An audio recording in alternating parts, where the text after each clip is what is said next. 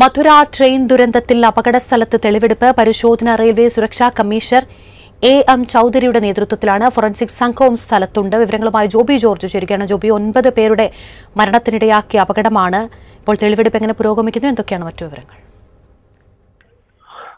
Juliet railway സുരക്ഷാ commissioner A M ചൌധരിയുടെ നേതൃത്വത്തിലാണ് ഇപ്പോൾ ഈ തെളിവെടുപ്പ് പുരോ- പുരോഗമിച്ചുകൊണ്ടിരിക്കുന്നത്. അതോടൊപ്പം തന്നെ റെയിൽവേ ബോർഡിന്റെ എക്സിക്യൂട്ടീവ് ഡയറക്ടർ സുരക്ഷാ ചുമതലയുള്ള മുകുൾ കുമാറും ഈ പരിശോധനകൾക്ക് നേതൃത്വം നൽകുന്നുണ്ട്. രാവിലെ ഈ സംഘം ബംഗളൂരുവിൽ നിന്ന് മധുരയിൽ എത്തിയതിനു ശേഷം ആദ്യം ആശുപത്രിയിലെത്തി പരിക്കേറ്റവരുടെ മൊഴി രേഖപ്പെടുത്തുകയാണ് ഉണ്ടായത്. എങ്ങനെയാണ് ഈ അപകടം ഉണ്ടായത് എന്നടക്കമുള്ള വിവരങ്ങൾ ചോദിച്ചറിഞ്ഞു.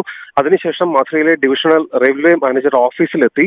അവിടെ വെച്ച് നാട്ടുകാരും രക്ഷാപ്രവർത്തനത്തിൽ ഏർപ്പെട്ടവരുമായ ആളുകളുടെ ആളുകളിൽ നിന്ന് വിവരങ്ങൾ തേടി അതിനുശേഷമാണ് ഇപ്പോൾ അപകട സ്ഥലത്ത് എത്തിയിരിക്കുന്നത്. മധുര റെയിൽവേ സ്റ്റേഷനിൽ അല്പം അകലെയുള്ള യാർഡിൽ നിർത്തിയിട്ടിരിക്കുന്ന ഈ കോച്ചിൽ ഈ സംഘത്തിന്റെ പരിശോധനകൾ നടക്കുകയാണ്. അതോടൊപ്പം തന്നെ ഫോറൻസിക് സംഘവും പരിശോധനകൾ നടത്തുന്നുണ്ട്. ഇതുവരെയും അദ്ദേഹം മാധ്യമങ്ങളോട് ഈ പരിശോധനയ്ക്ക് ശേഷം സംസാരിച്ചിട്ടില്ല.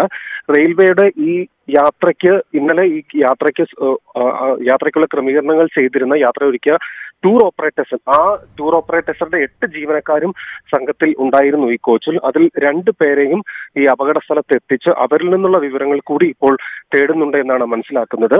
ആർ പി എസ് ചിലരെ കസ്റ്റഡിയിൽ എടുത്തു എന്ന റിപ്പോർട്ടുകൾ നേരത്തെ വന്നിരുന്നു. അത് ഈ ടൂർ ഓപ്പറേറ്റേഴ്സിന്റെ ജീവനക്കാരാണ് എന്നുള്ള വിവരങ്ങളാണ് ഇപ്പോൾ വ്യക്തമാകുന്നത്.